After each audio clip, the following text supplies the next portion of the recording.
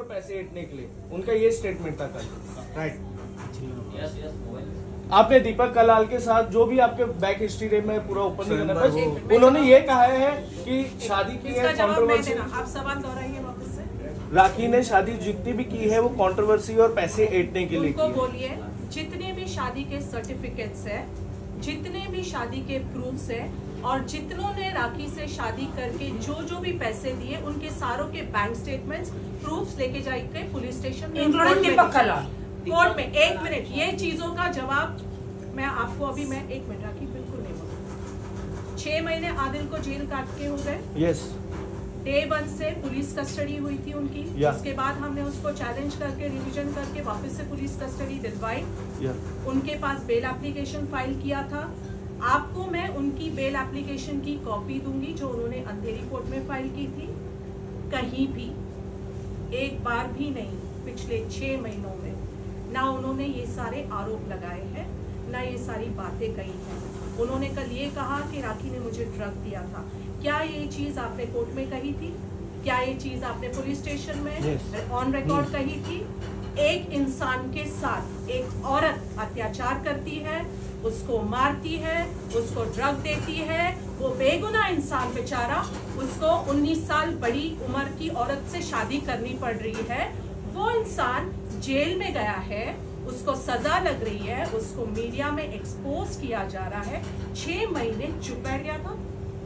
छह महीने कहीं भी आवाज़ नहीं। वो प्रेस कॉन्फ्रेंस जो कल ली गई थी, क्यों उस दौरान, जब वो पुलिस कस्टडी में था, क्यों उस दौरान उसके वकील ने कोई एप्लीकेशन फ़ाइल नहीं की? क्यों उस दौरान अपने आप को बेगुनाह साबित करने के लिए क्या मीडिया की ज़रूरत है? क्यों पिछले छह महीने में आदिल ने एक भी लफ्ज राखी के खिलाफ नहीं बोला और पिछले छह महीने में आदिल ने एक भी एफर्ट नहीं की कि उन्होंने ना पुलिस कंप्लेन की है, ना उन्होंने कोई पिटिशन फ़ाइल की है, ना उन्होंने कोई सूट फ़ाइल किया है। तो आज छह महीने बाद ऐसा क्या हो गया कि उनको मारना, पीटना ड्रग्स देना, उनके साथ जो भी अत्याचार हुए, वो बेचारा बेगुनाह इंसान इस औरत के अत्याचारों से इतना त्रस्त था, इतना त्रस्त था कि आज छह महीने बाद अचानक से उसको ताकत मिल गई। Why not legal remedy available है आपको? अगर आप एक मर्द भी हो और किसी औरत ने आपके साथ बुरा किया है, आपके साथ जालसाजी की है तो छह महीने तक क्यों अगर जो कल राखी के, शादी के सर्टिफिकेट्स और वीडियोस उसने दिखाए, उसने बेल के वक्त क्यों नहीं दिखाए? क्यों कोर्ट में ये नहीं बोला कि मेरे साथ चीटिंग हुई है? क्यों उस वक्त बेल एप्लीकेशन में? क्या उसके हाथ बंधे हुए थे? वो यही कहेगा, मेरे पास प्रूफ नहीं था। तो आज जब वो प्रूफ इकट्ठा कर सकता है, इंसान ज़्यादा प्रूफ का भी इकट्ठा करता है जब वो जेल के अंदर होता है। उस वक्त उसने यहाँ तक भी नहीं बोला अपनी बेल एप्लीकेशन में कि राखी ऑलरेडी शादीशुदा थी मेरे से झूठ बोल के या मुझे दबाव डाल के मेरे साथ शादी की। क्यों कोर्ट में आपने नहीं बोला? ज़्यादा मीडिया के सामने बोलना ज़रूरी था?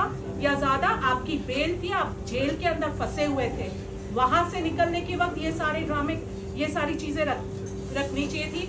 बाहर आने के बाद ये ड्रामे क्यों? अगर आपके पास पेपर है तो आपने मीडिया नहीं बुलानी चाहिए थी। आपने सीधा कोर्ट का रुख अपनाना चाहिए था। अच्छा एक और एक एक- मुझे मुझे कहा जा रहा है कि एक मिनट एक मिनट एक मिनट। पहली बात छह महीना जेल में रहकर आए। क्या दुनिया को इतना नहीं पता कि वो जो छह महीना जेल में रहे वो राखी सावंत के लिए नहीं रहे? राखी सावंत के लिए नहीं रहे हैं वो उनकी ईरानी गर्लफ्रेंड ने उन्होंने वहाँ पे उन पे रेप का केस लगाया है मेरे लिए नहीं रहे हैं वो मेरे लिए यहाँ बाईस दिन थे जो मुझे मारा था मुझे टॉर्चर किया था मैंने क्या देखा था मेरे ही घर में दूसरी लड़कियों के साथ सेक्स कर रहे लड़की लड़की लड़कों के साथ भी। मैंने ये देखा मुझे मारने की कोशिश की दुबई में यहाँ पे। आप- मैं आप- आपको जो आपको जो मारने के निशान थे वो लिपस्टिक के निशान है।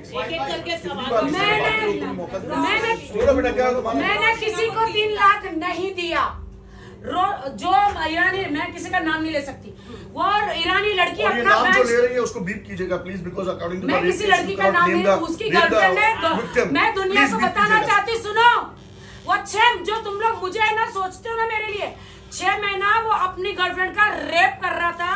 उसकी गर्लफ्रेंड पाँच साल उसके साथ रही उसको नहीं पता था उसने मेरे साथ शादी करी उसने अपनी गर्लफ्रेंड को झूठ बोला मुझे भी झूठ बोला मुझे कहा, वो मेरी फ्रेंड है। उसको कहा, राखी के लिए तो मैं बिग बॉस में जाना चाहता हूँ। मैं स्टार बनना चाहता हूँ। तुझे भी बिग बॉस में ले जाऊँगा। उसको बहुत पट्टी पढ़ाई उसका शोषण करता रहा। उस लड़की का शोषण करा जो स्टूडेंट थी। हाँ तो मैंने किसी को कोई पैसा नहीं दिया है। पैसे से याद आ है।